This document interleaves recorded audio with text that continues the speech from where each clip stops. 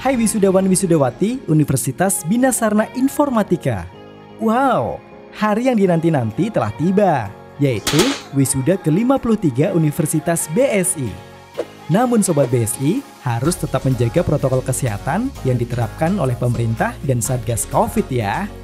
Yuk kita perhatikan himbauan protokol kesehatan wisuda Universitas BSI kali ini.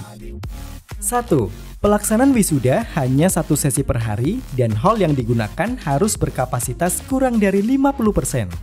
2. Kendaraan wisudawan-wisudawati beroda 2 hanya diizinkan masuk ke kampus dengan setengah dari kapasitas maksimalnya. 3. Kendaraan wisudawan-wisudawati beroda 4 hanya dapat masuk ke area convention center maksimal 2 orang. 4. Kendaraan wisudawan hanya dapat menghantar dan parkir di tempat yang telah disediakan.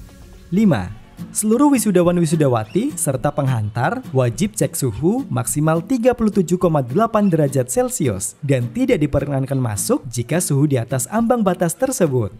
6. Seluruh wisudawan-wisudawati wajib melakukan rapid test dan menunjukkan surat keterangan negatif COVID-19 atau non-reaktif maksimal 1 kali 24 jam dari waktu pelaksanaan wisuda.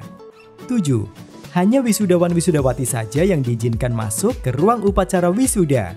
Orang tua dan wali wisudawan-wisudawati tetap dapat menyaksikan tayangan wisuda live streaming di channel YouTube BSI TV. 8. Wajib menggunakan masker, face shield, dan sarung tangan latex. 9. Jangan lupa cuci tangan sebelum masuk ke hall ya Sobat BSI.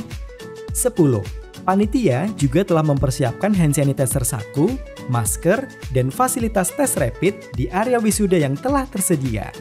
11. Duduk di kursi wisuda yang telah dipersiapkan dan tidak berkumpul ya. Ingat, saat ini kita belum 100% aman untuk terhindar dari virus COVID-19. Jadi, mari bersama saling melindungi dari penyebaran virus COVID-19. Yuk kita bersikap lebih cerdas dan lebih bijak agar pandemik ini segera berlalu. Bersama UBSI, kita siap menghadapi masa depan cemerlang. Kuliah, BSI aja.